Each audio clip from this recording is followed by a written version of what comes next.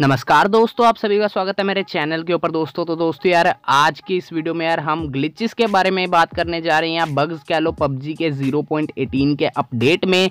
तो जैसा कि आप सब जानते हो यार, ये जितना अपडेट में नई चीज़ें नहीं लाते, उनसे कहीं ज़्यादा ये बग्स और ग्लिचेस हमारे लिए लाते हैं।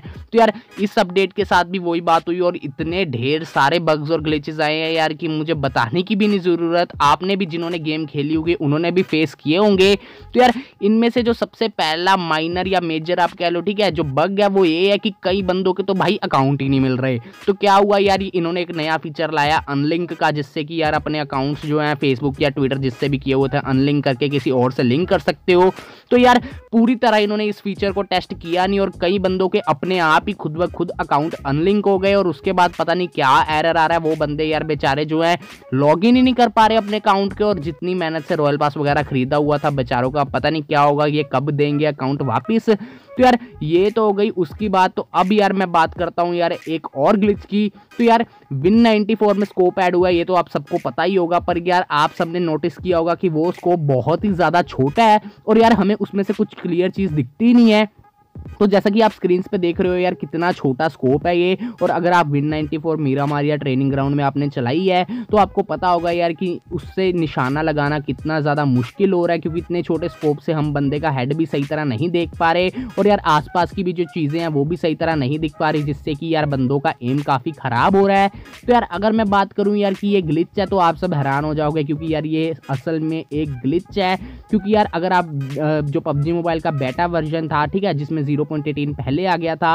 अगर आपने वो खेला होगा यार तो आपको यार ये जो डिफरेंस है, आराम से पता लग जाएगा। ये जो असल में स्कोप है, ये बड़ा स्कोप है, पर यार किसी ग्लिच के कारण ये हमें बहुत ही छोटा स्कोप दिखाई दे रहा है। एक बार मैं आपको बेटा वर्जन की एक फ़ोटो दिखाता हूँ तो देख पा रहे होंगे। इस पिक्चर में देखो यार विन नाइनटी का स्कोप कितना बड़ा लग रहा है। एज कंपेयर टू हमारे ग्लोबल वर्जन जिसमें स्कोप का साइज़ यार बिल्कुल ही छोटा हो जाता है। तो यार ये भी एक ग्लिच है यार, क्योंकि काफ़ी बंदों ने ट्विटर पे पबजी को टैग किया इंस्टाग्राम पे भी यार काफ़ी बंदों ने ये स्क्रीनशॉट्स डाले बताते हुए कि ये ग्लिच है। और यार मतलब अभी पबजी मोबाइल की तरफ़ से तो कोई रिस्पॉन्ड आया नहीं है कि उन्होंने ये ग्लिच पढ़ा या नहीं। पर यार, जल्दी ही मेरे ख्याल से सीज़न थर्टीन आने से पहले इन्होंने यार कोई अपडेट का प्लान किया है, जो कि यार मतलब एक छोटा सा अपडेट आता है, जिससे कि सीज़न थर्टीन लाइव हो जाता है। तो यार, उस अपडेट के शायद साथ जो है, शायद एक दो एम या हम कह सकते हैं दस बीस एम का अपडेट आ जाए, जिससे कि ये विन नाइन्टी के जो स्कोप का ग्लिच है, वो फिक्स हो जाए और बाकी बंदे जो है विन नाइन्टी आराम से चला पाएँ। क्योंकि आप सबको पता है कभी कभी मीरामार में अगर आप हॉट ड्रॉप करते हो या कोई भी मतलब लैंड करते हो?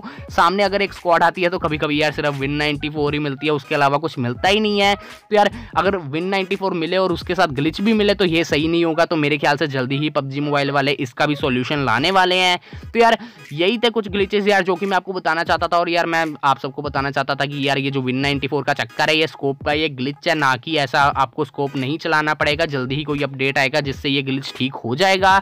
तो यार, आज की वीडियो इतनी थी। अगर वीडियो अच्छी लगे तो लाइक कीजिए चैनल को सब्सक्राइब कीजिए। और हाँ इस वीडियो को अपने दोस्त के साथ शेयर करना बिल्कुल मत भूलिएगा, ताकि उन्हें भी इन सब चीज़ों के बारे में पता लग सके। तो यार, मैं मिलता हूँ आपसे अगली वीडियो में, तब तक के लिए गुड बाय